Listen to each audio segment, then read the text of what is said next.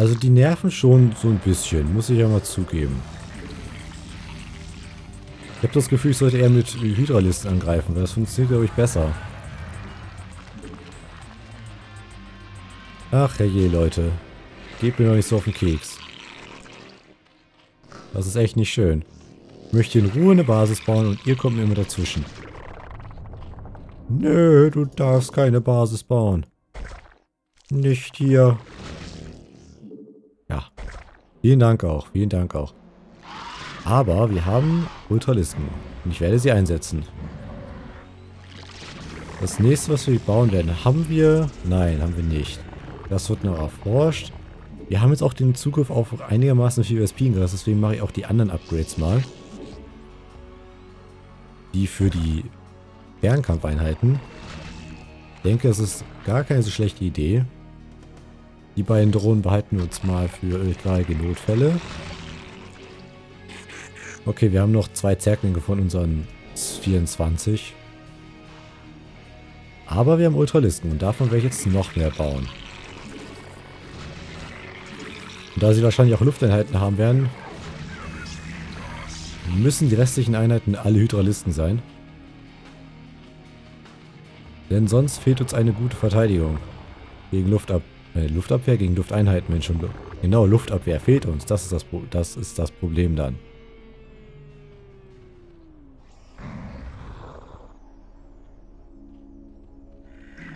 So. Sehr schön. Jetzt würde ich mal sagen, sind wir ausgerüstet, brauchen noch ein paar Einheiten zum Angreifen eben. Schicken noch einen Overlord mit.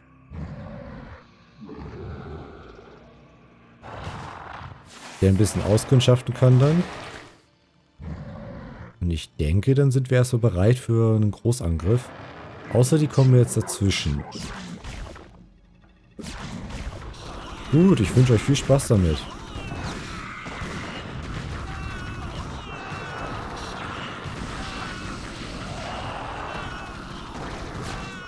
So, die Herren. Ich glaube, das war nichts aus eurer Sicht, oder? Nein. Das war mal überhaupt nicht.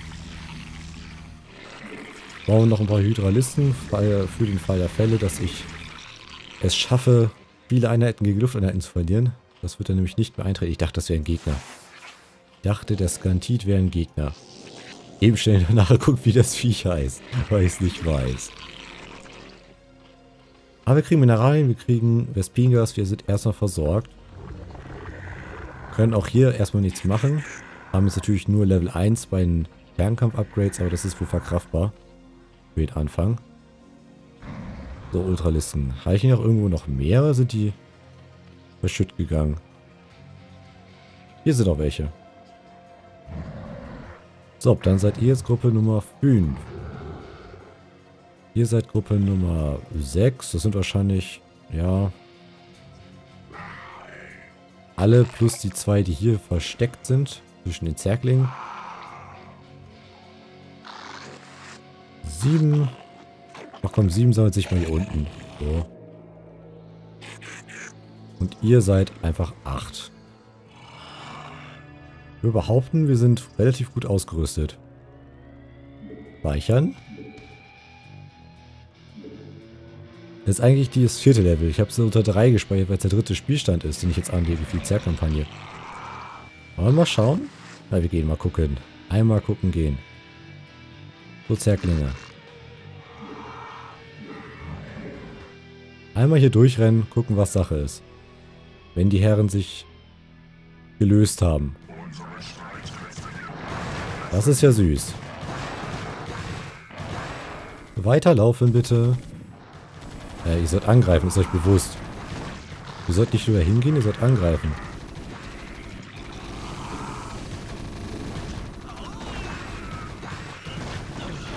Das ist nicht angreifen gewesen, was ich gerade zuerst gesehen habe. Ich wollte Overlords mitschicken. Wir schicken mal vier Overlords mit. Bauen währenddessen noch ein paar neue.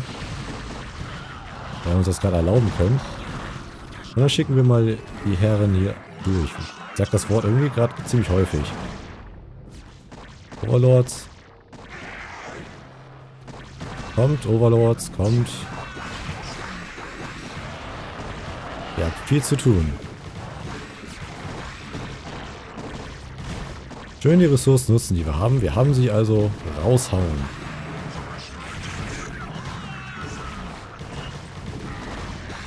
Oh, die Wächter, die müssen weg. Die müssen dringend weg. Haut die Wächter um, weil die mag ich nicht, die sind böse. Das sieht im Moment nach einer ziemlich fixen Mission aus, wenn ich nur ehrlich so sein darf. Fragt sich nur, wie schnell ist sie wirklich? Im Moment stehen meine Zerklinge ein bisschen doof rum. Das gefällt mir nicht so wirklich. Wir gehen einfach mal hier in die Richtung und hauen da alles um, was wir finden. Produzieren weiter. Noch.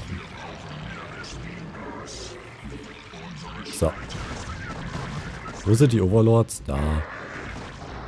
Für den Fall der Fälle ziehen wir mal die Overlords hinterher. Falls die Terraner auf die Idee kommen, ihre Basen wieder aufzubauen oder unsichtbare Einheiten mitzuschicken. Ich denke nicht, dass eins von beiden eintreten wird. Im Moment sind die doch ziemlich human unterwegs. Hier, mach das mal noch kaputt, okay? Das fände ich ganz toll. Gut, wenn ihr hiermit fertig seid, geht ihr mal hier unten hin. Haut das mal weg. Und dann könnten wir uns eigentlich auch schon bald daran machen, mal komplett nach vorne zu ziehen. Overlords kommen natürlich wieder mit. Ihr seid jetzt einfach jetzt Gruppe 0. So, Overlords sind Gruppe 0 diese paar Zergeinheiten zusammen mit den Terranern. Das ist merkwürdig. Die haben irgendwie überhaupt keine Verteidigung. Was macht die die ganze Zeit? Nase bohren. Oder kommt die Verteidigung erst noch, wenn ich hinten angekommen bin? Das kann natürlich auch sein. Ich unterschätze das jetzt gerade und denke dann hinterher, whoops, das war zu viel.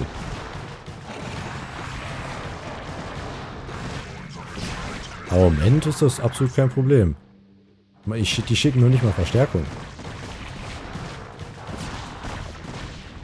Ohne Verstärkung ist das lächerlich einfach. Hier füllen wir unsere Gruppe auf. So, Gruppe Nummer 5. 12 Utalisten sollte ausreichen, oder? Ja, 12 Utalisten reicht aus. Wir haben einen Hydralisten nur verloren und wahrscheinlich jede Menge Zerklinge. Ja, so ziemlich alle. Die du mal mit in die Gruppe, Gruppe Nummer 6. Dann haben wir jetzt eine Gruppe voll mit Hydralisten, eine voll mit Ultralisten. Was wird das denn? Mach mal weg. Ein paar Zerklinge haben wir. Leider zu wenig für meinen Geschmack. So. Komm mal her. Geht mal alle darüber. Das sind ja immer noch Ultralisten. Meine Güte, wie viele habe ich davon gebaut? Eindeutig zu viele. Das ist krass. So ein bisschen. Aber gut, jetzt haben wir auch wieder Zerklinge. So, Gruppe Nummer 7. Ihr seid jetzt aber jetzt mal Zerklinge. Ich hatte auch irgendwo noch eine Gruppe Nummer 8. Die ist jetzt auch belegt. Da mit euch. 8. Jetzt bin ich glücklich. Jetzt haben wir wieder ein paar Einheiten. Ein paar Einheiten ist gut.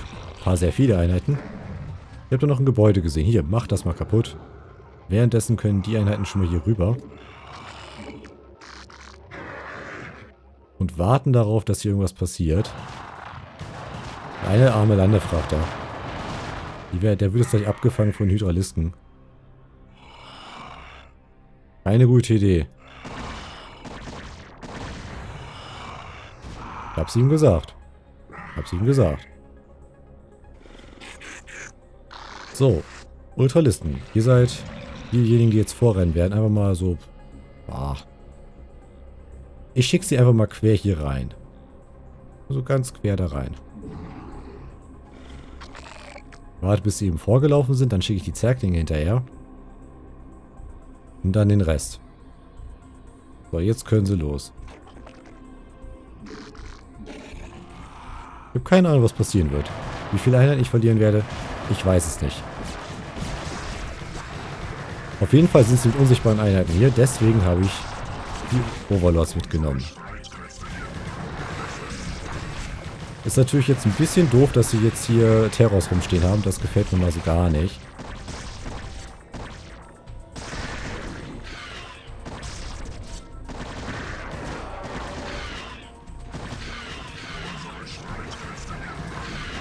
Ach ja, der wird's lustig.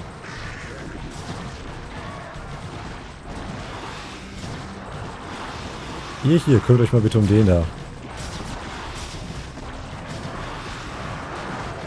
Jetzt um den da. Wow, wir verlieren gerade alle Einheiten, habe ich das Gefühl.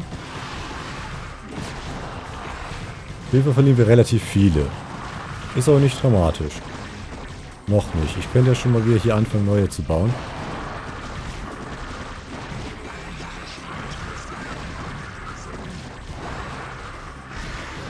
Verlieren zwar zu viele Einheiten, aber das finde ich in Ordnung. Nicht akzeptabel. Hier, du da, dich möchte ich mal kurz weghaben. Du bist mir gerade so ein Dorn im Auge.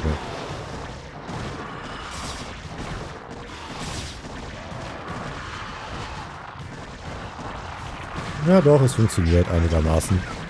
Ich glaube, die Terraner haben wir gerade vollständig ausgelöscht. Dass diese Wächter da immer rumgeiern müssen, die stören mich eigentlich so am meisten gerade. Könnte ich mal das Gebäude wegmachen? Das stört.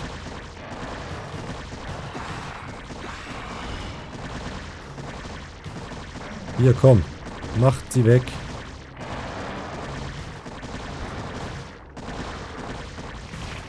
So, jetzt noch das hier. Prima. Sehr schön. Oh, nicht die, Ultra, äh, die Hydralisten angreifen. Das finde ich böse. Oh, ein Ultralisk. So, jetzt den noch wegmachen. Und dann bin ich glücklich. Das funktioniert doch. Haben zwar alle unsere Unterlisten verloren, bis auf zwei, berechtigterweise. Denn ganz so clever war der Angriff vielleicht nicht, einfach die Einheiten da reinzuschicken. Und bald haben wir auch kein Spingas mehr. Wo kommt der jetzt schon wieder her? Könnt ihr den nicht mal angreifen? Schluss damit. Keine Einheit mehr produzieren. Aufhören. Es funktioniert. Irgendwie funktioniert's. Wir haben zwar kaum noch Einheiten, aber wir, wir haben es geschafft. Im Großen und Ganzen. Und das stimmt mich gerade glücklich. Wir haben gerade eine komplette Basis ausgerottet. Gut, wir haben die komplette Armee dabei verloren, aber das ist ja unwichtig. Müssen wir uns eben wieder neu aufbauen, dann klappt das. Zwei dürfen sogar hier bleiben. Die bleiben dann die Verstärkung. Ja. Dieser ist Gruppe Nummer 5, die neue. Sammelt euch mal hier hinten. Dürft währenddessen alles umhauen, was ihr trefft. Falls ihr auf irgendwelche Dinge trefft. Ich hoffe nicht. Gruppe Nummer 7. Da fliegen zwei Overlords gerade zu meiner zweiten Basis. Ich weiß nicht, ob mir das gefallen soll. Ich befürchte, das soll mir nicht gefallen. Nummer 8. Und wir haben fast keine Hydralisten mehr. Und davon brauchen wir relativ viele, wie ich gesehen habe.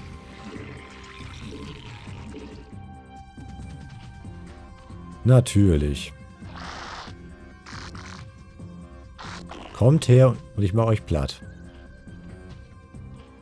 Wirklich.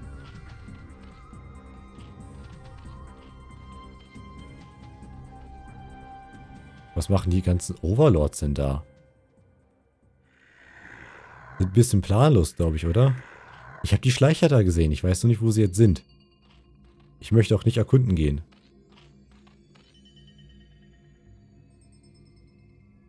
Ich meine, sollen sie doch Unheil anrichten. Oder es zumindest versuchen. Habe ich kein Problem mit. Wir nehmen unsere Gruppe Nummer 6, füllen die Nummer 6 wieder neu auf und schicken den Rest dann mal hier hin, der dazugekommen ist. Sind auch vollständig abgegradet jetzt. Bis auf die Lufteinheiten, die wir sowieso jetzt nicht nutzen. Ich habe keine Ahnung, wo die Schleicher abgeblieben sind. Aber ich vermute mal, dass wir die nach dieser Mission auch bauen können. Und wir kommen ziemlich gut voran. Das erstaunt mich doch. Ich habe eigentlich erwartet, das dauert ein bisschen länger. Können wir die ganzen Sachen umwandeln, auch wenn wir es nicht mehr wirklich brauchen. Ich könnte ja mal ein paar Einheiten hier hinschicken und Ressourcen abbauen. Und ich glaube, währenddessen werden wir von Schleichern angegriffen. Deswegen schicke ich schon mal Overlord hier rüber. Da sind sie. Das ist ein ganz schlechter Ort, dich da einzugraben. Nur mal so. Okay. Oh, die Hyalisten kloppen sich mit ein paar Overlords. Ach, lass die Overlords Overlords sein. Das hat keinen Sinn. Okay, wir können wieder speichern. Zack. Und würde mal sagen, wir rennen los. Hydralisten immer ein bisschen hinterher, weil die brauche ich noch. Ja, jetzt kommen sie mit so einer hässlichen Kombination an. Das ist natürlich ekelhaft. Zerklinge, hier Oh ne, das finde ich nicht schön. Das ist meine Overlord-Zeile.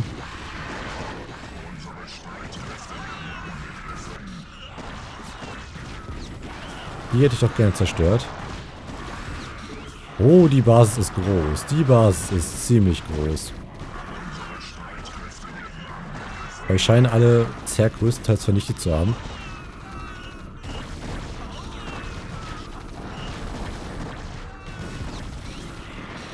Okay. Wir bauen mal eben schnell ein paar neue Zerglinge, weil ich glaube, die könnten nützlich werden. Holen mal kurz noch die zwei Ultralisten dazu. Ich denke, das könnten wir gebrauchen. Ihr könntet ihr beide euch vielleicht um den da kümmern. Das wäre mir ein großes Vergnügen. Jawohl. So habe ich das doch gerne.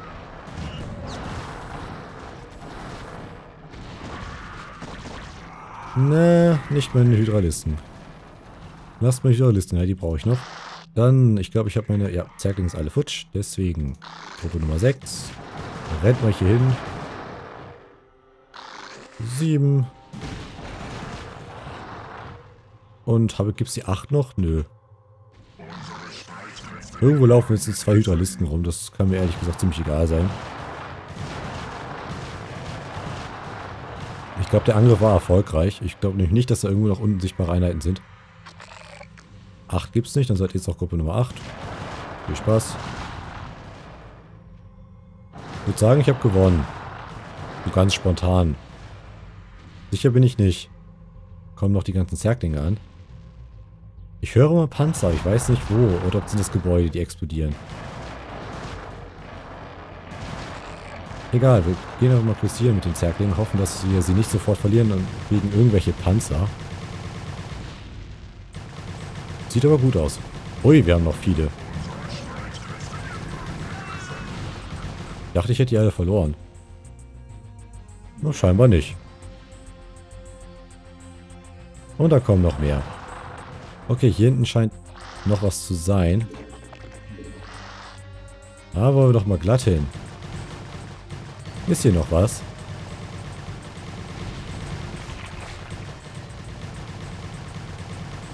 Ich glaube, ich habe den schwierigsten Weg gewählt und er war ziemlich einfach zu bestreiten, dank der ganzen Ultralisten.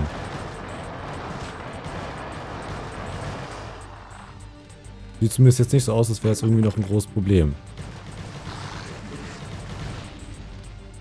Das scheint es gewesen zu sein mit der Verteidigung hier.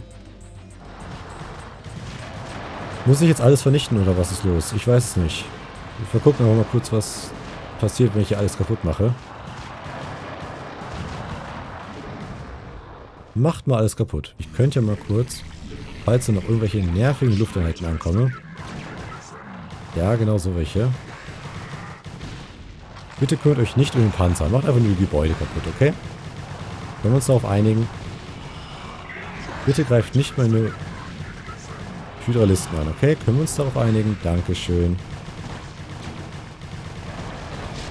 Hätte ich doch gern behalten. Oh, das ein... Ausgezeichnete Arbeit, mein Zelebrat. Die Verteidigungsanlagen des VED liegen in Trümmern. Arcturus, jetzt kannst du deine Welt wieder in Besitz nehmen. Meinen Segen hast. Tu bloß nicht so eingebildet, Kerrigan. Das war schließlich Teil der Abmachung, oder? Ich hab es mir verdient. Ich bin wieder Imperator der Liga. Und ich werde General Duke losschicken, meine Operationsbasis in Augustgrad einzurichten. Ich hoffe, du machst das Beste aus deiner Herrschaft. Da wollte ich noch was erzählen. Okay, herzlichen Glückwunsch, Sie haben gesiegt. Die Mission ist vorbei. Relativ problemlos. Na gut, vielen Dank fürs Zuschauen, Leute. Ich hoffe, ihr hattet Spaß bei dieser relativ kurzen Mission im Gegensatz zur letzten. Und beim nächsten Mal geht es dann weiter mit Mission Nummer 5 der Zerr-Kampagne. Bis zum nächsten Mal. Ciao, ciao.